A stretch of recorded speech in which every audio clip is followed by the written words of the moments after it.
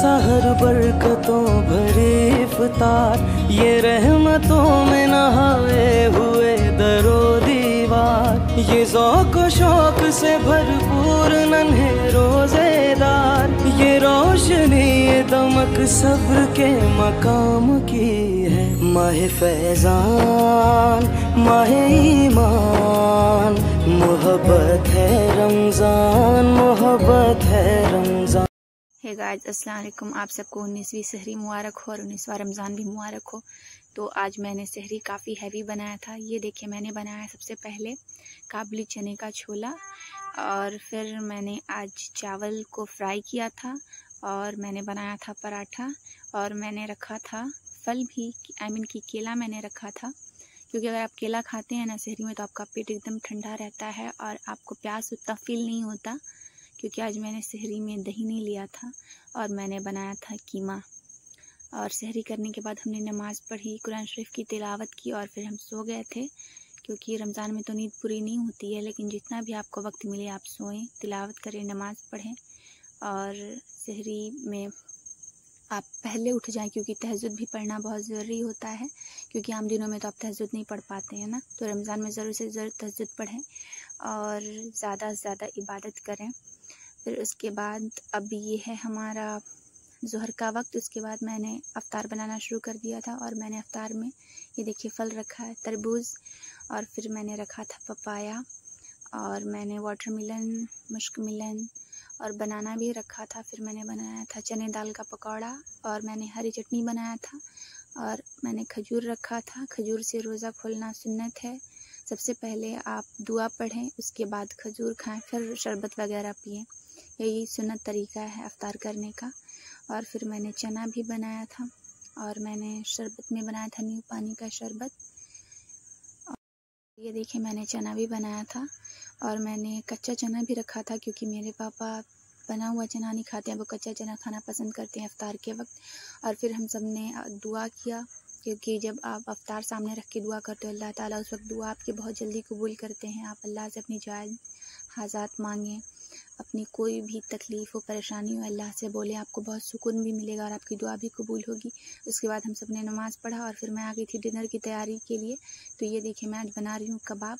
तो मैंने लिया था ये एक पाव के करीब मैश किया हुआ कीमा और फिर मैंने इसे उबाल लिया था लहसुन, अदरक का पेस्ट डाल के और फिर मैंने डाला है इसमें दो पटैटो मैश करके।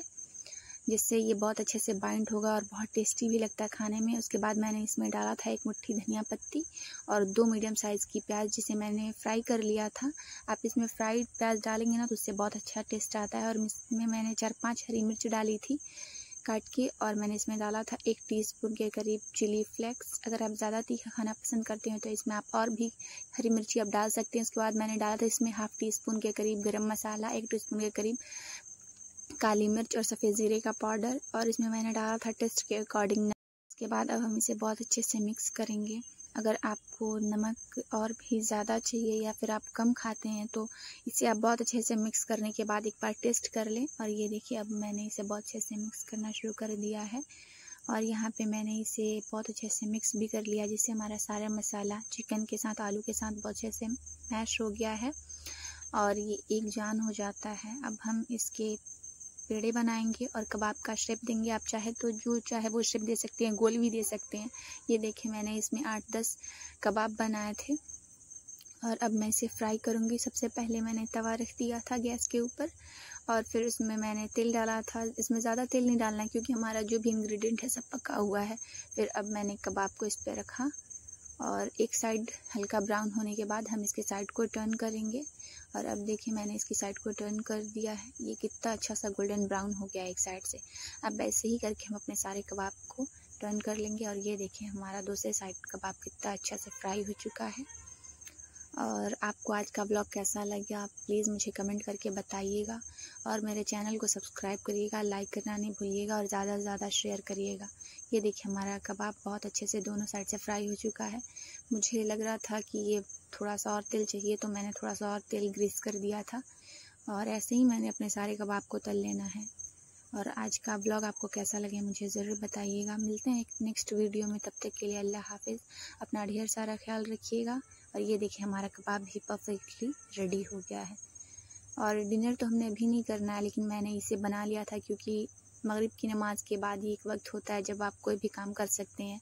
इशरा बाद तो आपको इशरा की नमाज़ पढ़नी होती है तरावी पढ़नी होती है, जिसमें काफ़ी वक्त लग जाता है तो फिर आप कुछ काम नहीं कर सकते हो। इसीलिए मैंने अभी ये कबाब का फ्राई कर लिया कि डिनर के वक्त मुझे कोई परेशानी ना हो। और नमाज़ ज़रूर पढ़ें, दुआओं में याद रखें। उम्मत मोहम्मदिया के लिए दुआ करें, सबके लिए दुआ करें। बाय बाय टेक केयर अल्लाह हाफिज़।